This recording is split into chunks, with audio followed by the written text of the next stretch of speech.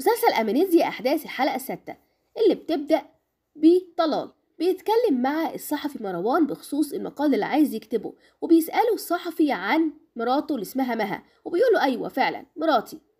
وطبعا بيعرف كمان إن هو متجوز واحدة كمان. وبيقول له أنت عارف معلومات عنها؟ اللي عرفك. قال له أنا صحفي وده شغلي. قال له عامة لو عارف مكانها لازم ترجعها على المستشفى. دي مريضة وبتتعالج. وبياخد منه ميعاد علشان خاطر يتكلموا في المقال اللي عايز يعمله الصحفي مروان. طبعا كل ده أمل مراته كانت موجودة وسامعة كل حاجة. بيروح بعد كده علشان خاطر يراقب مراته أمل. وبيصورها كمان في الصورة علشان يوري الصورة دي لمها بعد كده. وبتبدأ الحلقة بمها واخدة مروان والدكتورة ورايحة على بيتها. وبتفتكر كمان مفتاح الشقة. بتدخل البيت وبتقيد النور وأول حاجة طبعا بتفتكرها الحادثة اللي حصلت. أما بالنسبة للدكتور بيتصل بطلال وبيقول له كنت فين؟ أنا بكلمك من بدري. بيسأله لقيت أي معلومات عن مها؟ فبيقول له لا مفيش أي معلومات. بس أنا خايف جدا. لكن بيقول له ما تقلقش أنا هتروح فين؟ هي أصلا ملهاش حد. الموضوع ده ما يخوفكش. أي معلومات جديدة بس تكلمني فيها. بالنسبة لمها بتشوف دم على الأرض وطبعا بتفتكر الحادثة اللي حصلت وموضوع قتلها للست اللي. الحامل اللي جات لها قبل كده وبتفتكر كل ده وإن الست الحامل جت وخبطت عليها وقعدت تتكلم معاها شوية عن جوزها وعن عمايله معاها وضربه ليها وانها هربانة منه وبتطلب إن هي تبات النهاردة وبالفعل بتاخدها مها علشان خاطر تخليها تنام عندها في الأوضة وبتسيبها وبتروح تنام لكن اللي حصل كالآتي إن أمل اللي هي الست الحامل بتحط حباية منوم لمها.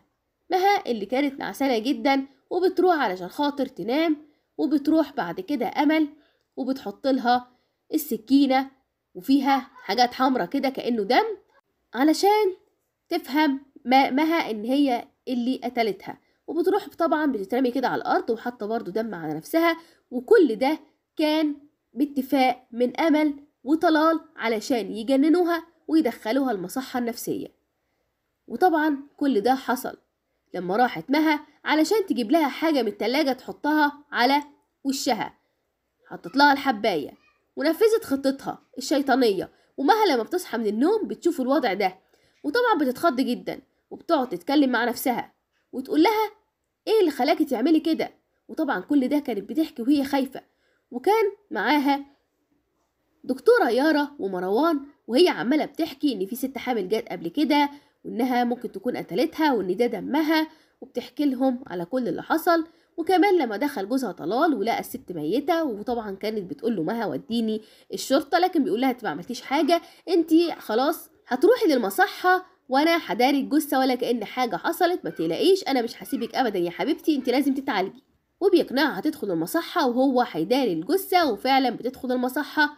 وبيروح على البيت وبيكون متفق مع أمل اللي بتقوم زي العفريتة ولا اتقتلت ولا حاجة وكل ده كان باتفاق منهم علشان يخلصوا من مها وياخدوا كل فلوسها وكل ثروتها.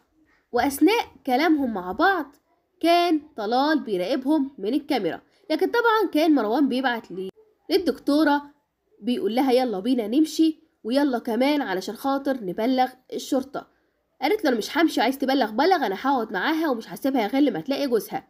وطبعا بتقول لهم مها إن هي مش هتمشي وهتستنى طلال.